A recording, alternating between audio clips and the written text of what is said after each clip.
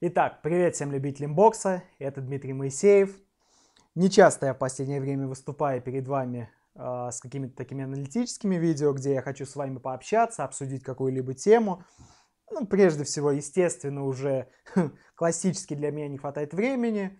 Плюс я понимаю, что, ну, наверное, основной популярностью у меня на канале пользуются видео с биографиями, с топами, соответственно, ну и не напрягая вас особо э, собой, скажем так, но интересует меня все-таки, и не то, что интересует, волнует действительно те или иные моменты и вещи в мире бокса, и на данный момент та тема, которую я хочу с вами обсудить, это реванш между э, Ковалевым и Уордом. Уже, ну, два с половиной месяца практически прошло с момента первого боя, и несмотря на то, что первый поединок был ожидаем, он, я думаю, вы согласитесь со мной, ну, не, не превзошел, конечно, но удовлетворил большинство ожиданий зрителей, потому что это был действительно напряженный, конкурентный, хороший бой. А, в контракте был прописан реванш, и об этом было общеизвестно. То есть, казалось бы, какие могут быть вопросы? Хороший первый бой, хорошие гонорары для боксеров. А, прописан реванш. Соответственно, ну, на данный момент, два с половиной месяца спустя, уже а, должна быть какая-то видимость относительно реванша, но все достаточно сильно запутано. Мы с вами уже слышали немало а, заявлений боксеров, а конкретики никакой нет. Вот давайте с вами оценим основные заявления, которые прозвучали от боксеров, от промоутеров за прошедшие месяцы. И поговорим с вами, почему же, скорее всего, в настоящий момент пока нет никакой конкретики относительно реванша и ну, э, с какой долей вероятности мы все-таки с вами увидим или не увидим реванш. А, значит, напомню, что а, я отдавал предпочтение Уорду перед первым поединком. Тем не менее, в отдельном материале я повторяться не буду. Есть подробный анализ, кто, на мой взгляд, победил, почему. А, действительно, можно сказать, что результат неоднозначный и какой-либо а, ну, четкой определенной позиции у поклонников бокса здесь быть не может. Кто-то считает победителем Ковалева, кто-то Уорда, кто-то голосует за ничью, но боксер играет свою игру. И Уорд начал, ну, я много раз отмечал, что Уорд, на мой взгляд, является отличным примером боксера, который умеет делать правильные заявления и правильно расставлять акценты. Вот и после э, своей неоднозначной победы он сделал вот это вот заявление. Андрей, скажи что-нибудь российским фанатам бокса. Думаешь, они захотят меня слушать? Россия, у вас великий чемпион в лице Сергея Ковалева. Сегодня был прекрасный бой. Я уверен, что вы считаете, что я проиграл, но если кто-то меня поддерживал, спасибо. Я рад, что люди смогли посмотреть отличный бой.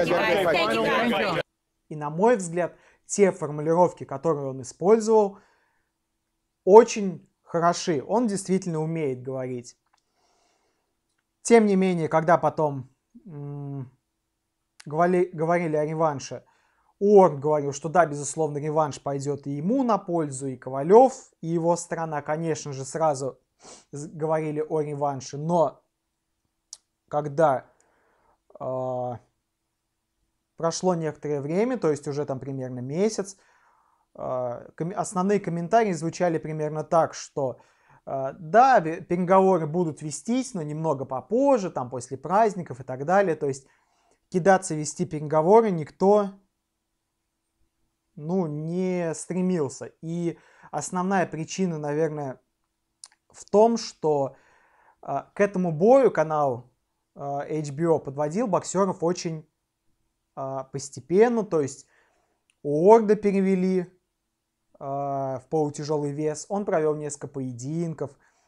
Коне... В конечном плане он так и плани... ну и хотели, чтобы он встретился с Ковалевым. То есть бой планомерно раскручивали, и тем не менее, бам, всего лишь около 160 тысяч просмотров pay-per-view. То есть, ну, давайте будем откровенны, это очень и очень мало. Почему? Я как, ну, такой ценитель действительно бокса, э, хватаюсь за голову и говорю, что, господи, конечно, нужно понимать, что касается это в основном американцев, потому что они платят вот по этой системе.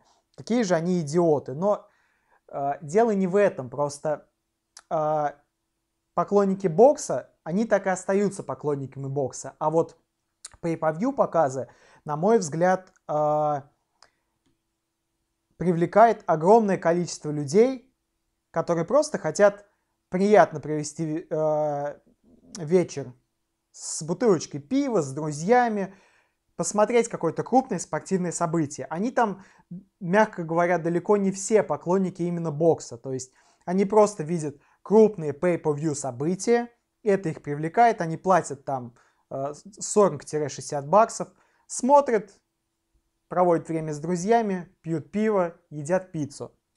И конечно же, не являясь вот специалистами и ценителями именно боксерского мастерства, им нужно шоу. Шоу, которое дает Пакьяо, который дает Альварес, который дает Головкин. Ковалев такое шоу дает, но как ни крути, он все-таки русский, он хоть и достаточно популярен в США, но не настолько, чтобы прям гарантировать э, э, большие pay-per-view цифры.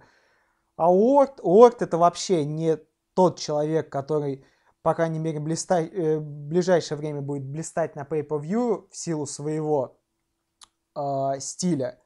Да, Флойд Майвезер с примерно таким же стилем, ну, давайте так скажем, пришел к рекордам на Pay-Per-View, но он пришел к этому благодаря э, своему образу непобедимого, дерзкого, богатого и знаменитого. А Уорд Скромняга, тихоня, да еще и с таким вот стилем невзрачным. Вот и получается, что м- данный бой первый не привлек большого количества вот именно таких вот любителей провести вечер под пивко. Поэтому мало просмотров, мало прибыли, а гонорары-то у боксеров были достаточно большие – 5 миллионов гарантии у Орда, 2 у Ковалева. И, естественно, кто-то понес убытки. Поэтому, казалось бы, реванш с юридической точки зрения должен быть. Реванш ожидаем поклонниками бокса. Но учитывая современный э, мир бокса, вот эту конъюнктуру, бокс с точки зрения бизнеса, реванш достаточно сложно организуем, потому что да, потенциально второй бой привлечет, привлечет больше внимания, но опять же, и гонорары боксеров, ну, как минимум, не должны быть меньше, чем в первом поединке. А здесь уже с точки зрения бизнеса у многих, я думаю, возник вопрос, а стоит ли так вкладываться в этот бой и стоит ли он того? Боксеры по-своему начали тоже нервничать, особенно Сергей Ковалев. Андрей Уорд просто начал вот эти вот ну, сначала многие удивились, а не завершит ли мне карьеру? Мы подумаем насчет реванша. А, поклонники Ковалева, конечно, сразу начали поносить, что Ор, ты трус, признай, что ты проиграл, и иди на реванш. Ну, господа, успокойтесь. Никто никого не боится, особенно на таком уровне. Уорд же уже согласился на первый бой, как он сам отмечал. Просто, я так понимаю, что он решил хотя бы таким способом э, подогреть интерес ко второму поединку. Как отреагировал на все это Сергей Ковалев? Ну, сначала, ну, относительно неплохой э, вариант игра слов, то есть э, э, прозвище Орда SOG, то есть э, Son of the God, Сын Божий. Хм, Ковалев начал его потроллить из разряда Сын Судей, son of, of the judge. Ну ладно, это нормальная тема. А потом, ну, Ковалев все-таки вспомнил свое челябинское прошлое. На самом деле большой материал у меня был по этому поводу. Не собираюсь никого судить, потому что э, после подобных моих э, оценок грязь льется уже в мой адрес. Ковалев сделал большое заявление э, в свой официальный твиттер, мол, идите все нах, кто меня критикует, кто меня не поддерживает. Я играю свою игру э, и всего лишь пытаюсь э, троллить Уорда, чтобы у него взыграло самолюбие.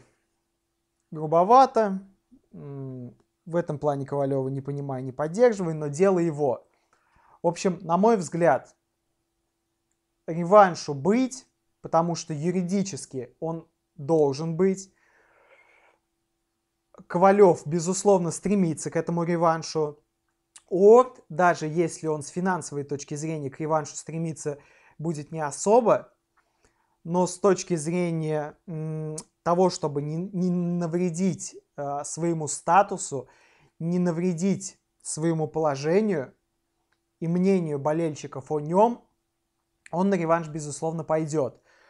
А если он на реванш не пойдет, это нанесет ему, во-первых, он титулы, я думаю, потеряет. Может быть, не все, но часть из них. Он потеряет свой статус.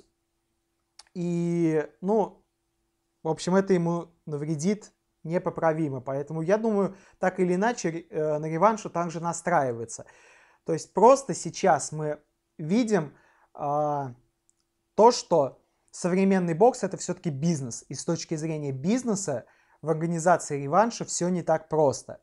Поэтому давайте немножко потерпим, не будем никого э, обвинять, не будем поносить Уорда.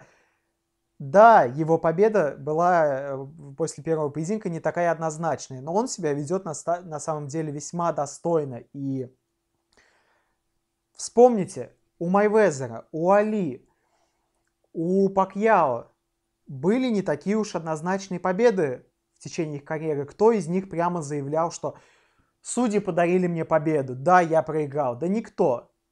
Все с той, все с той или иной степени убежденности и наглости заявляет, что да, я победил, я заслужил эту победу. Уорд в этом плане далеко не самый плохой пример и ведет себя весьма достойно, говоря, что он после нокдауна поднялся, продолжил ругать свою игру и ну, заслужил эту победу. В его глазах, я думаю, это действительно так. Поэтому давайте дождемся реванша. Это ожидаемый реванш, будет хороший реванш – и я надеюсь, что мы, безусловно, его увидим, и там э, получим ответы на все наши сомнения и вопросы. Э, делитесь своим мнением по поводу э, данной темы, по поводу реванша, по поводу ну, первого боя. Я думаю, многие успокоились и смогут отметить какие-то новые вещи. Ставьте лайки, если вы со мной согласны. Комментируйте, если не согласны. Подписывайтесь, потому что в рамках блога будет, как всегда, много всего интересного. До новых встреч. Пока.